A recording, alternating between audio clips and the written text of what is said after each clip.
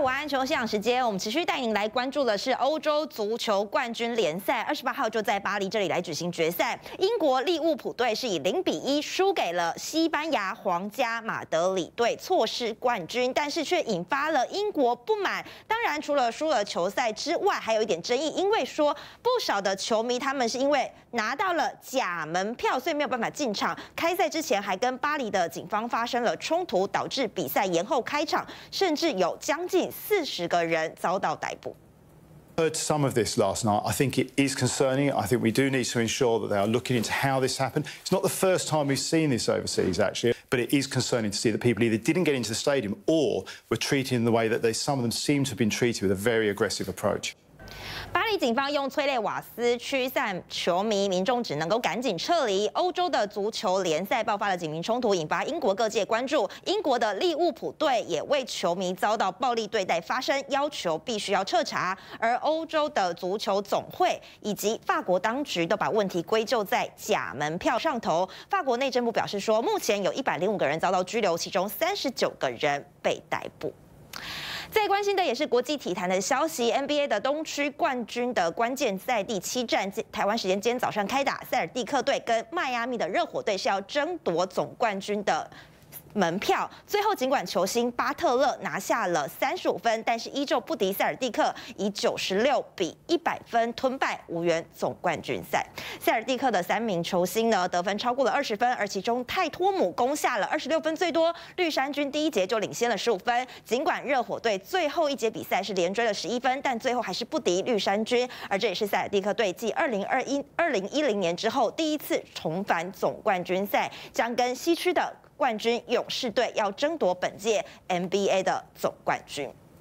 而持续关注的是俄乌交战哦。现在俄罗斯国防部他们在二十八号的时候公布了最新的这个画面，这也是最新的极音速武器的试射画面，显示锆石超高音速飞弹的发射，但是因为呢说。北约就在抗议了，因为认为说他们已经威胁到北约的安全了。而锆石飞弹这一次是在巴伦支海来这里来进行试射，最高飞行的速度可以达到九马赫，是世界上最快速的飞弹道飞弹，同时也可以搭载传统或是。核弹头用来对准海上还有陆上的目标。现在外媒报道说，表示目前的反飞弹的防卫系统都没有办法制止锆石飞弹一千公里的射程，也会影响欧洲北部的军力平衡。俄国海军甚至说可以直接威胁到北约或是北极跟北太平洋、北大西洋的船舰安全。现在北约的副秘书长已经指出说，北约不再受制过去不在东欧部署的承诺了。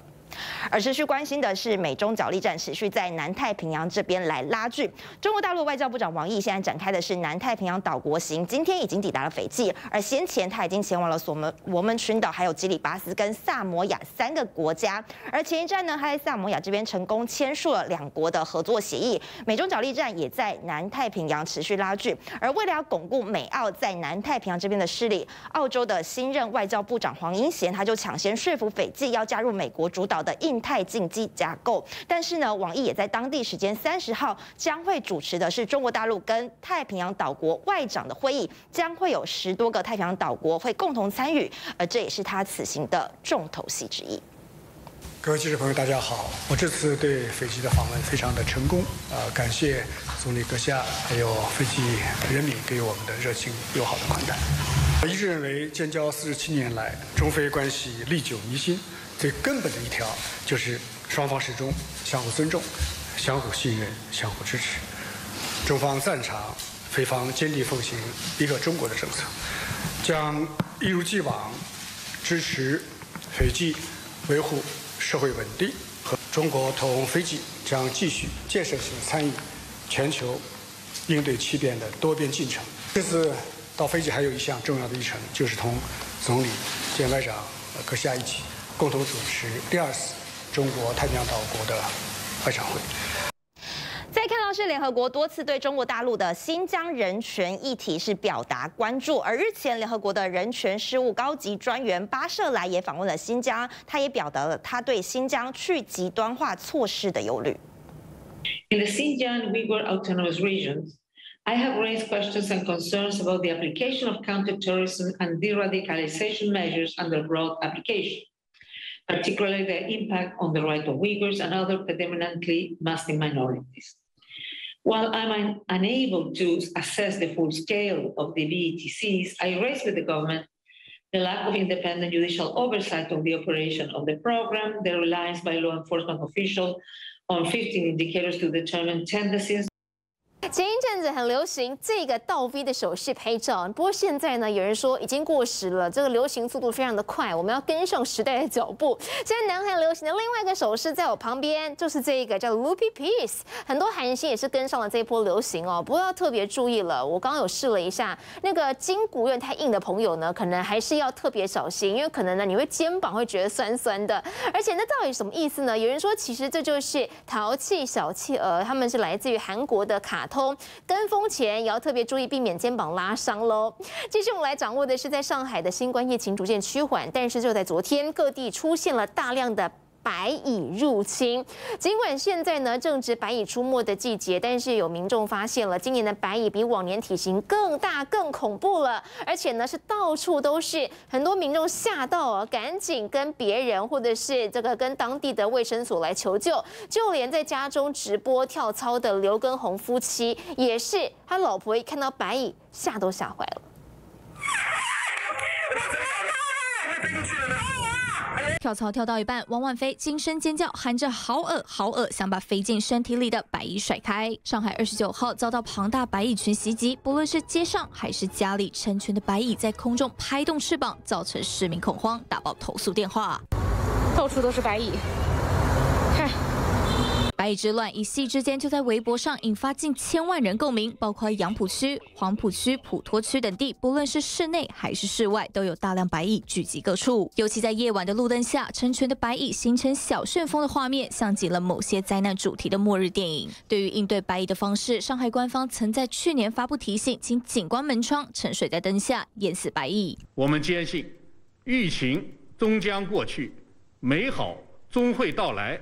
上海。必将重回人潮涌动、车水马龙的繁荣繁华。不过，季节性的疫灾应该很快就过去。而另一个好消息是，上海封控两个月后，疫情逐步趋缓，当局也宣布将在六月一号起步入第三阶段防控，有序推进复工复市，并取消企业复工、复产、复市审评制度。民众也可以从六月一号起进入公共场所与搭乘交通工具，不过需持七十二小时核酸证明。记者谢海宇报道。接下来我们来看这画面，是天使队的捕手林木清在热身的时候，面对投手洛伦成，他投出地瓜，那么没有想到呢，没有去接到他的球往后面反弹，击中他的颈部，痛到他必须提前退场休息，到休息区整个人瘫软无力，还要队友搀扶，画面触目惊心，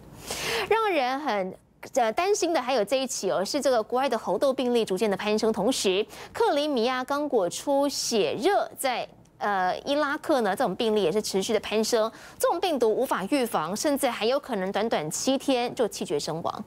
防疫人员在牛群身上喷洒消毒剂，相关单位也到屠宰场进行检疫。继新冠肺炎、猴痘之后，全球又出现怪病，由蜱虫为传播媒介的克里米亚刚果出血热在伊拉克病例飙升，至今通报上百起的类似病例，染疫者可能在短短七天内就会鼻血狂流到断气死亡。